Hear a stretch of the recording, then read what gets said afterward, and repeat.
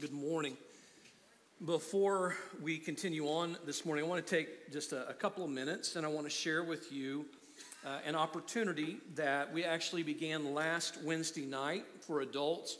Uh, if you remember, a week ago we had uh, bad weather, and so no services last Sunday. And on Wednesday, we began a new Bible study. And for the past couple of years, in January and the first part of February, we have done a four week semester of what we call the counterculture series, where we deal with issues of sexuality and faith that affect the church today. And last Wednesday night, we continued that series uh, with a new four week study called Grace Truth. And I want to show you a short trailer that will give you kind of a, a sense of what we began to cover last Wednesday night and what we're going to be talking about over the next few weeks. And so uh, let's watch this video together.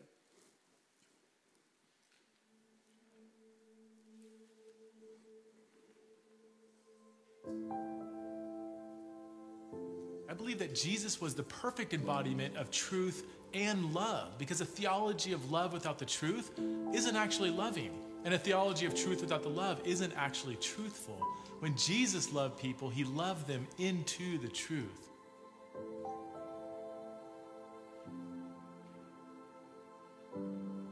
The way I always start out my story is the way lots of people start out their stories, and that's to say that from the time they were a little kid, they knew they were different. I can remember what it felt like to sit in that office and to be so afraid and to feel so hot and, and, and trembly and to not even be able to look at my father or mother in the face, but to have to tell them this thing that I was experiencing. I said, Look, this is something I'm battling. I don't know what to do with it.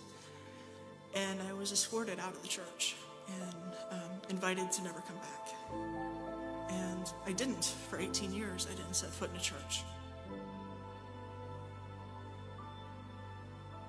See this as such a common response from evangelical parents of gay kids. It's as if they're looking at their gay kid and they say, in fact, sometimes they do, and say, You have destroyed my dream for you. We have this way of, of really making this about us and about our pain.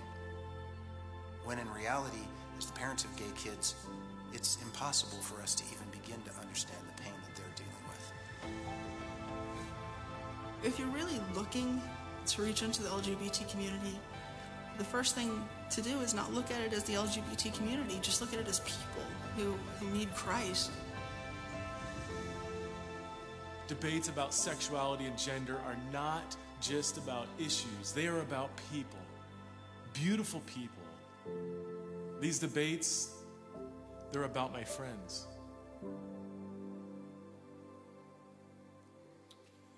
And so, again, this is a four week study. It started last Wednesday night, but certainly not too late for you to join us. This is not something that you have to sign up for. Uh, just simply show up this Wednesday and participate with us. And I will tell you this you know, I, I posted this trailer on Facebook last week, and, and I've had some interesting responses just to the posting of the trailer. Uh, but I will say this we had, I, we had an excellent study on Wednesday night. And you don't have to agree with me to be able to have an excellent study. You don't have to have the exact same perspective as me to have an excellent study. But I promise you this you show up on Wednesday, and we will make you think, and we will make you look into your Bible, and we will make you really consider how we balance truth, which we stand on, with grace when it comes to relationships with other human beings. Amen, church? And so this is an excellent study. Here are a couple of things we're going to be covering in this study. Week one, last week, was Dear Church, I'm gay. Week two, the Jesus way, how Jesus balanced truth and grace. Week three, what is marriage? How do Christians respond to changing cultural norms? And week four, what does the Bible say about same sex relations? And so, again, if this is a, a topic you think you might be interested in, I hope that you will join us for these remaining three weeks. We meet over in the new education building in what we call the Lake Room. And uh, you are invited and you are welcome to come, and we would love for you to be a part of that. Now, along with that, I want to mention that in about three weeks, we will be starting a new semester, a spring semester of Bible studies on Wednesday night. We're offering four classes. The first is Starting Point, which is for new and non members. And this is a class that I teach. And uh, if you haven't participated in it, we want you to start there. That's why it's called Starting Point. Uh, we also have a study on the book of Psalms that's going to be led by uh, Paul Kirsch.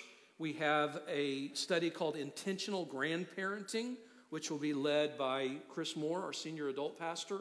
And then we have a ladies' Bible study on the book of Esther, led by Kathy Colin and Sherry McBee.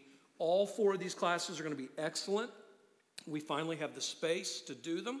But here's what I want to say to you listen to me, church. You, OBC is not a sign up church. We are a wait to the last minute and keep our options open church, right? I don't know where that comes from. It doesn't come from your pastor, but somehow you're like, no, I don't think I will sign up for that. But then you'll show up, right? You'll show up and say, Where's my class? Where's my space? Where's my material?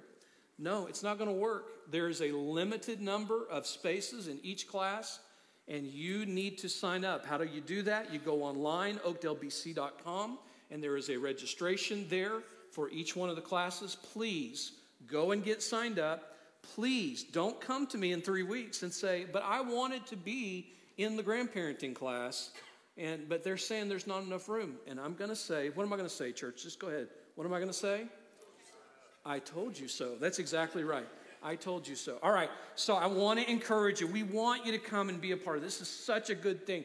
We had over 200 people here last Wednesday night. We're enjoying dinner together. We're studying God's Word together. Our children's ministry and our youth ministry are growing. And if you're missing out on Wednesday night, you are missing out. So let me encourage you to come and be a part of that. Now, this morning, as we continue really with our worship, we're going to be observing the Lord's Supper, which you can see the Lord's Supper table here in front of me. And the Lord's Supper is always a very special time here at OBC. We work really hard to make sure that it is a special time here at OBC. And so, one thing that that you will just almost never really experience is the Lord's Supper being tagged on to the end of a service, like, like an afterthought. Instead, what we've kind of committed to do is that when we take the Lord's Supper, we take it seriously and we make it the whole thing. And that's what we're doing this morning. And so everything from this point forward that happens is a continuation of our worship, and we continue that worship through the observing of the Lord's Supper. I'm going to do some teaching with you this morning. We're going to take some time to prepare our hearts this morning, and then we will participate in this very special experience that we have the privilege of being a part of. Before I do that, I want to uh, take a little bit of time. I want to talk about some of the background elements that are associated with the Lord's Supper that we may not even be aware of that could maybe give us a little greater appreciation for the significance of the Lord's Supper. And, and I'll be honest with you, as your pastor, that is one of the things that's really important to me. I always want us to come to the Lord's Supper and to come away from the Lord's Supper with an appreciation for the significance of the Lord's Supper. And so, to begin, let's, let's just talk a little bit about the preparation that was required before what we call the Last Supper in the Bible could even take place. I want to read to you uh, from Matthew 26, verse 17. We'll have the scripture I'm going to share with you on the screen behind me. It says this in Matthew 26, 17. On the first day of the festival of unleavened bread, the disciples came to Jesus and asked, Where do you want us to prepare the Passover meal for you? Now, the Jewish calendar was filled with religious celebrations, and many of them involved feasts.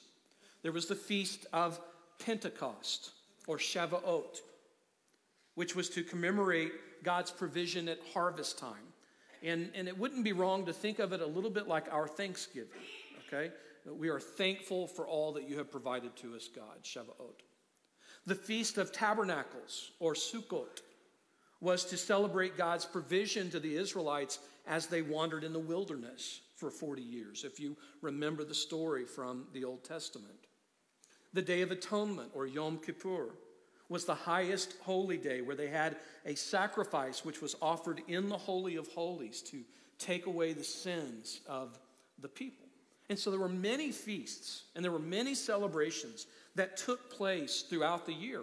But probably the most central feast to the Jewish year was the eight day celebration known as the Feast of Passover or Pesach, which was a reminder of the way that God delivered Israel from slavery and oppression in Egypt.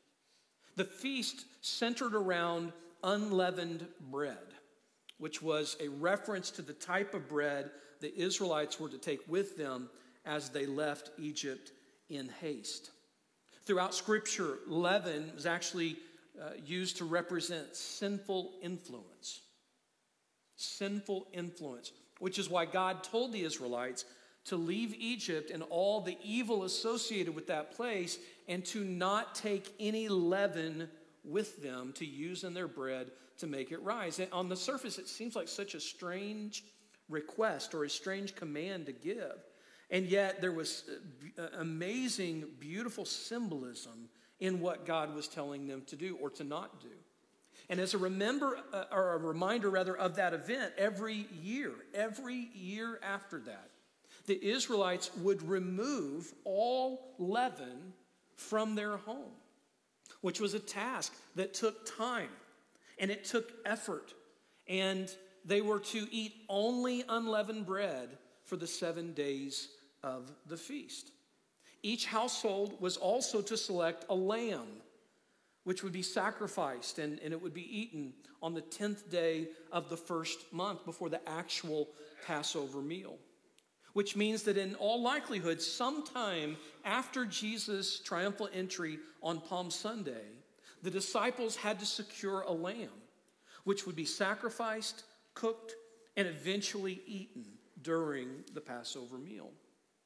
Now, in Matthew 26, they're trying to get everything together, everything else that needed to be done, they were trying to get it together for the Passover meal, which was going to take place, think about this, on Thursday night, okay? And their to do list would have included having the lamb slaughtered by a priest at the temple, which could only be done between the hours of 3 and 5 in the afternoon. So there were a lot of, of rules and there were a lot of guidelines for how everything had to be done. They would have had to buy unleavened bread, wine, and bitter herbs for the Passover meal. Also, because they didn't live permanently in Jerusalem, they needed a place to have their meal. And so they asked Jesus, What should they do? And that's the verse that I read to you. Jesus' answer must have really puzzled them. Listen to this. This is verse 10 through 12 in the book of Luke. So, different uh, gospel, but the same story. Luke 22, verses 10 through 12.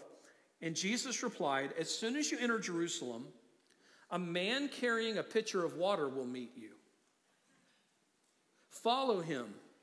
At the house he enters, say to the owner, The teacher asks, Where is the guest room where I can eat the Passover meal with my disciples? He will take you upstairs to a large room that is already set up. That is where you should prepare our meal. Isn't that strange? That Jesus would give that kind of direction to them. You can almost imagine their response. Okay, so you want us to go into the city and find a stranger carrying a pitcher of water. This is how we start. This is what we're supposed to do to get ready for the Passover meal. What's hard for us to realize, there's actually, again, some symbolism here because it would have been unheard of, listen to me, for the average Israelite man to be carrying such a domestic item. They would not have done that under normal circumstances, which means that the man carrying the pitcher was almost certainly a servant or a slave. And again, not someone the disciples would have been expected to talk to. Still, the disciples eventually did what Jesus instructed. Verse 13 says, They went off to the city and they found everything just as Jesus had said and they prepared the Passover meal there. Now, maybe you ask, okay, why do I need to know all of this? What does this have to do with anything? Well, the point that I'm trying to make is that there was a significant amount of preparation required before they could participate in the very first Lord's Supper. Do you see that? That there was more to it than just simply show up and do it. And, and you know what? We may be a little bit tempted to do that as Christians today. I mean, do you realize there's been some preparation that has taken place for the Lord's Supper? In fact, because of the weather and last week being canceled, it's been prepared twice for you. Seriously. Okay, but it's not just a matter of just show up and oh, there's the table and there's the cloth and there's the elements underneath it. I mean, some some preparation took place before you guys ever got here. And there are some things that had to be done that you'll never know anything about. And now we just show up and do it? I don't think so. I don't think so. So, the question that I have for you this morning is this How do we prepare to spend this time with God? Because that's what we're about to do.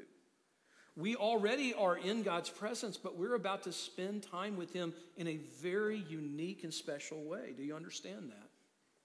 We read in the Bible that there was actually a problem very early on in the, in the church with people not preparing for the Lord's Supper in an appropriate way. One church located in Corinth was known for making a mockery out of the Lord's Supper. The Apostle Paul says this to them in 1 Corinthians 11. He says, But in the following instructions, I cannot praise you, for it sounds as if more harm than good is done whenever you meet together. First, I hear that there are divisions among you when you meet as a church, and to some extent, I believe it. In verse 20, when you meet together, you're not really interested in the Lord's Supper. For some of you hurry to eat your own meal without sharing with others. As a result, some go hungry while others get drunk. What? Don't you have your own homes for eating and drinking? Or do you really want to disgrace God's church and shame the poor? What am I supposed to say? Do you want me to praise you? Well, I will certainly not praise you for this. I think that's the very first come to Jesus meeting. Would you agree? I mean, Paul is laying it on pretty thick. He's telling them, I am not happy with what I hear. I haven't seen it with my own eyes, but I'm hearing about the way you're acting, and I don't like it. And I don't think God likes it. And he goes on in verse 27 to say this. I mean, this is where it gets serious. He says, So anyone who eats this bread or drinks this cup of the Lord unworthily is guilty of sinning against the body and the blood of the Lord. And that is why you should examine yourself before eating the bread and drinking the cup. For if you eat the bread or drink the cup without honoring the body of Christ, you are eating and drinking God's judgment upon yourself. Now, why would Paul say that? Well, it's because the cup and the bread represent what Jesus did for us on the cross. That is why he says that each person needs to stop and examine themselves before they eat of the bread or drink from the cup. This means that just as important as buying the groceries for the meal or finding a place where we can eat it is preparing our hearts for this reminder of what Jesus has done for each one of us.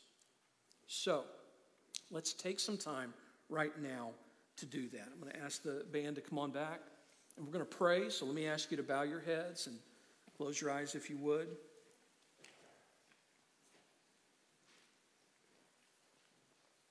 Let's just begin right now to work through the process, the experience of repentance.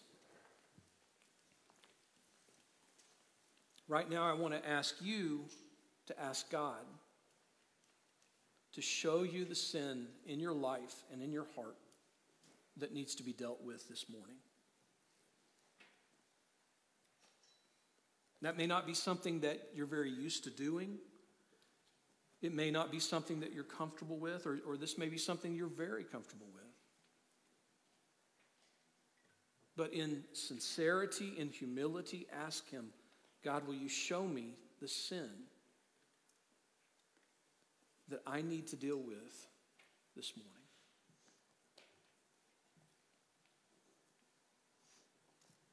And as those images probably start coming into your mind images of relationships, images of things that you have done,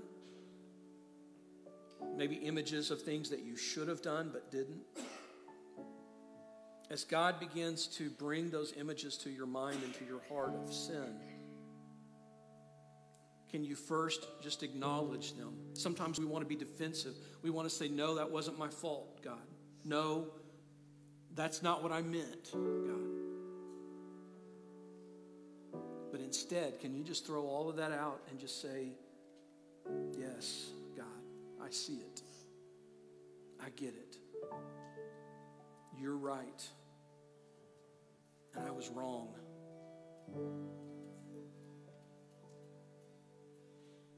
As you acknowledge your sin before God, the next step, the Bible says, is to repent of that sin. And that's more than just saying, I'm sorry. It's more than just asking for forgiveness. To repent is to turn and to go in the opposite direction. So I want you to take a moment right now. And much, much deeper than saying, Sorry, God, forgive me, God. I want you to take a few minutes and I want you to think about what it would take to walk away from this sin as well as to replace that sin with things that are pleasing to God in your life.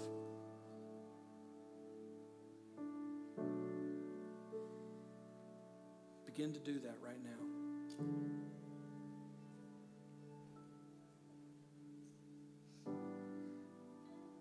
For some of us, maybe anger is something that we struggle with. What would be the opposite of anger? that I could ask God to help me replace that anger with in my life. God, will you give me much more grace and patience so that I don't become so angry with people? If it's worry, God, will you replace that worry with dependence on you? I want to trust you when I'm stressed and when I'm feeling anxious. Whatever it is, ask God to show you what needs to replace that sin in your life.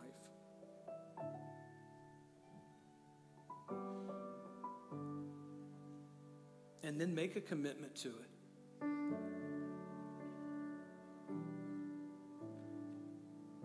I see my sin. I see what needs to replace it, and I commit to doing that. I want to go in the opposite direction of my sin, and I want to replace it with things that glorify you and please you. And I commit to this with you,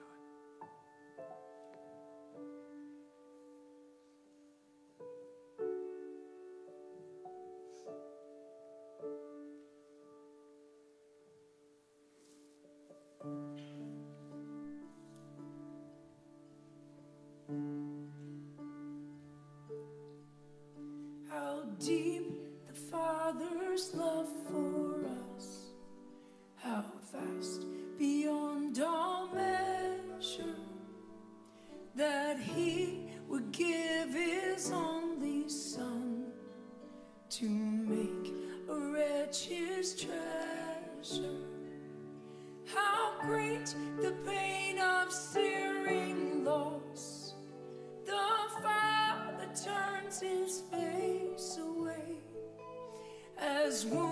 God. at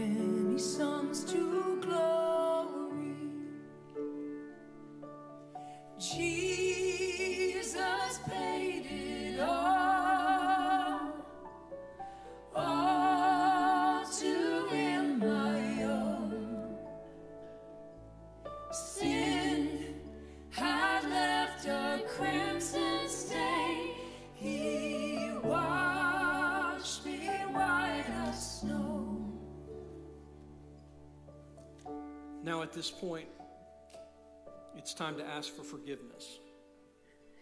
So you have asked God to show you your sin, you've acknowledged that sin, you've made a commitment to repent of that sin, and now we ask for forgiveness. And understand that that forgiveness cost Jesus his body and his blood and his life.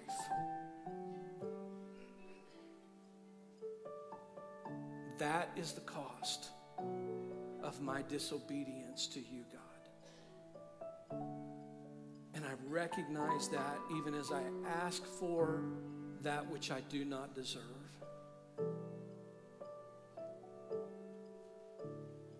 Forgive me,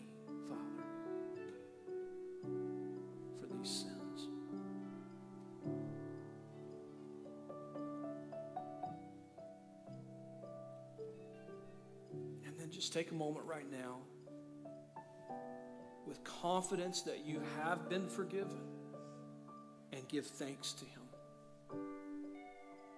Let me challenge you right now in your own heart and mind to say a prayer of thanksgiving, of thanksgiving, of thankfulness to Him. Do it now.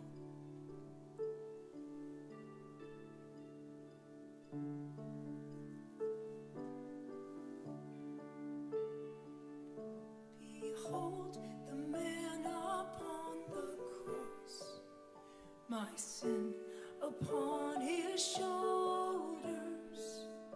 Ashamed, I hear my mocking voice call out among the scoffers.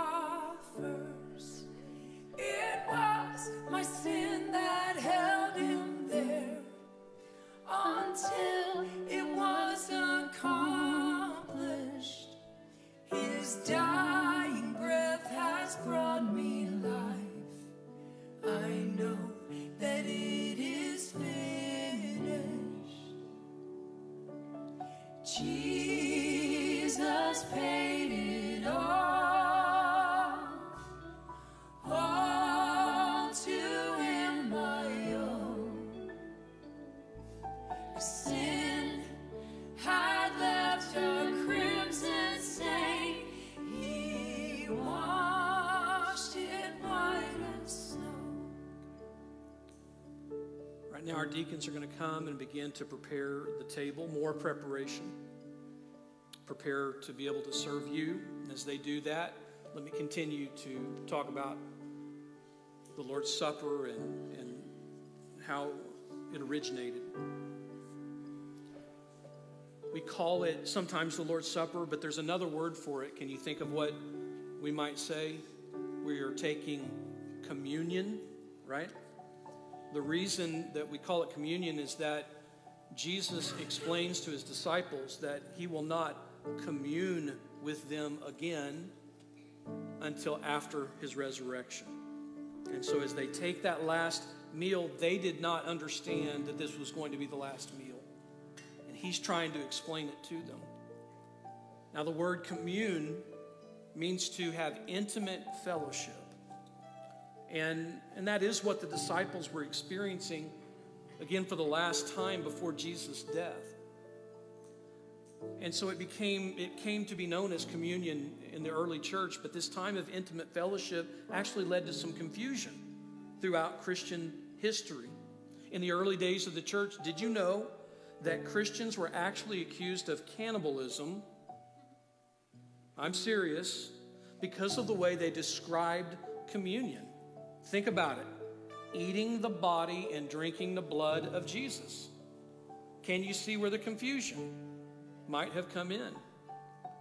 Today, some traditions believe that the bread literally becomes the body of Jesus in some supernatural way. Others believe that there is a supernatural presence around the bread, if not actually in it. But we take the perspective that Jesus was using a metaphor in the same way that he said, I am the true vine, or I am the door. He says that the bread represents my body, which will be sacrificed for you. So every time you eat it, remember what I have done for you.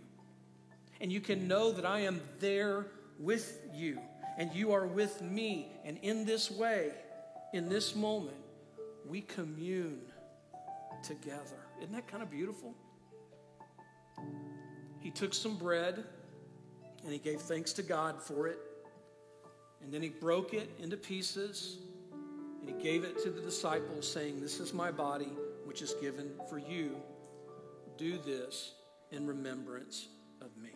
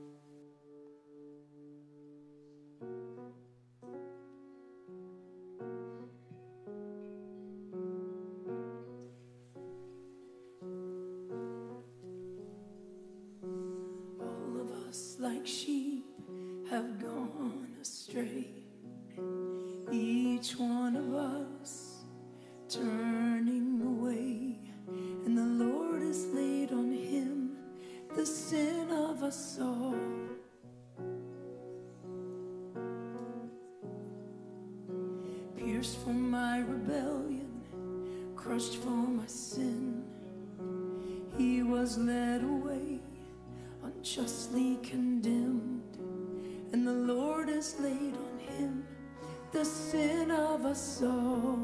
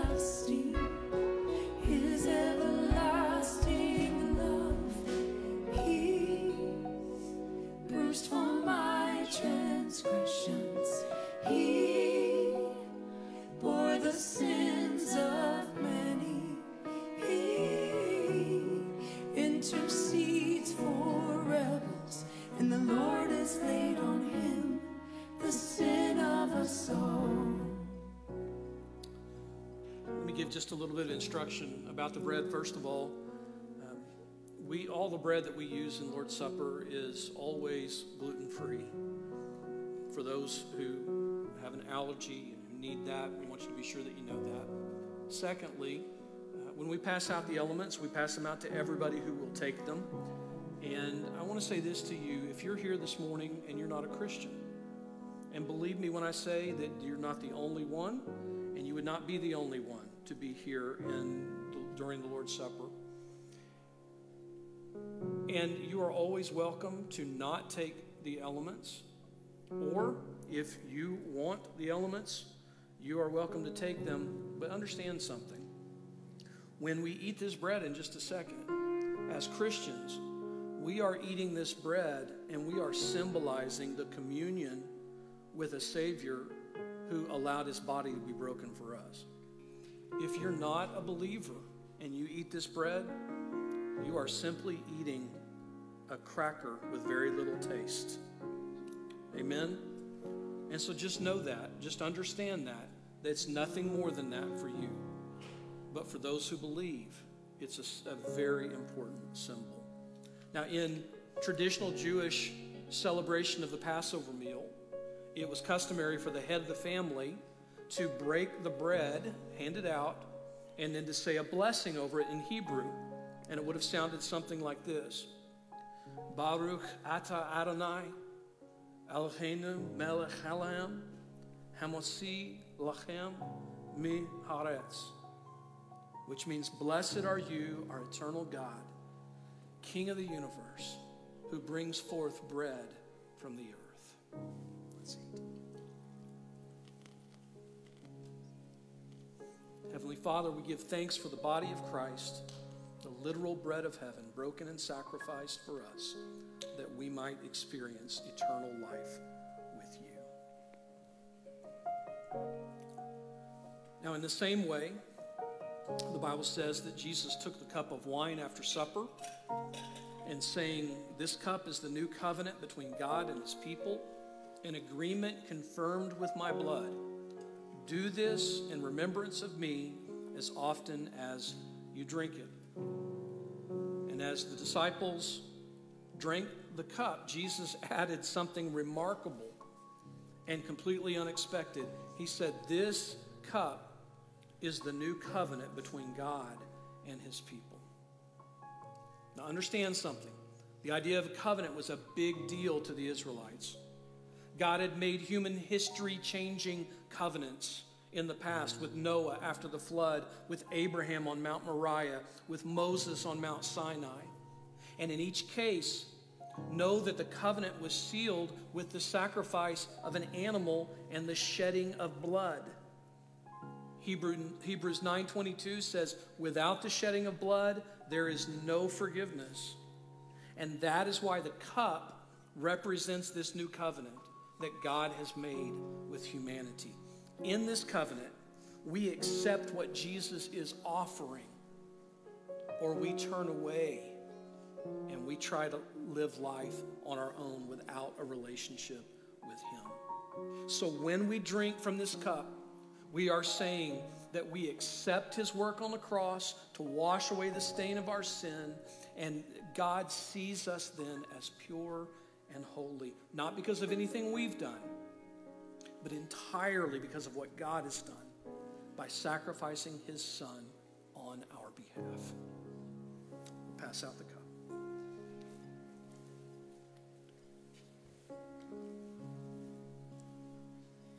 would be hopeless without your goodness. I would be desperate without your love, slave to the darkness. If it wasn't for the cross.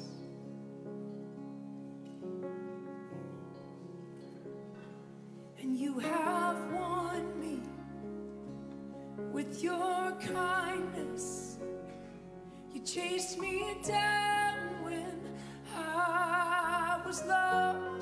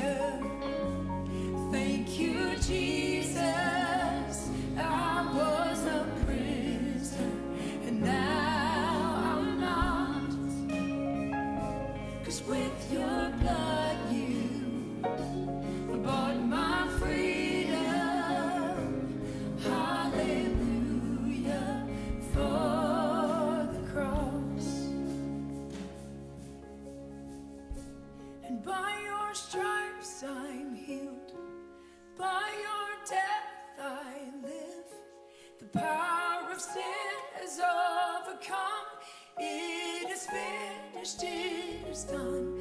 By your stripes I'm healed. By your death I live. The power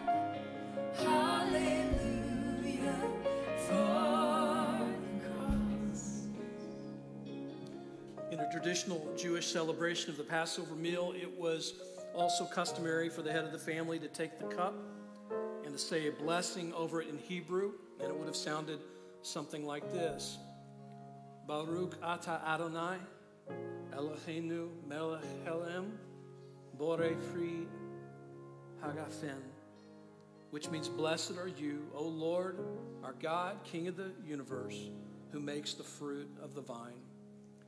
Heavenly Father, we give thanks for the blood of Jesus, which was shed for us, covering our sin and making redemption possible for us.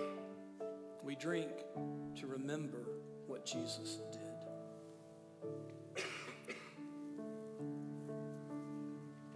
Now, I mentioned earlier that the Apostle Paul admonished the church at Corinth for the way that they were approaching the Lord's Supper. And I told you that the main problem was their treatment of the poor in the context of the supper.